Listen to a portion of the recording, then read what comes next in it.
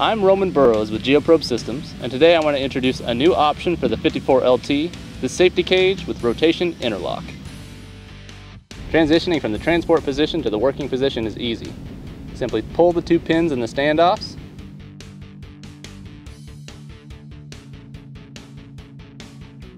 swing the door, put in the final pin, latch the door, and you're done. This is a fully interlocking safety cage. If the cage door opens while the hammer is rotating, all rotation stops. Rotation starts again when the cage is closed. When preparing for transport, lower the hammer, unlatch the safety cage, pin it back,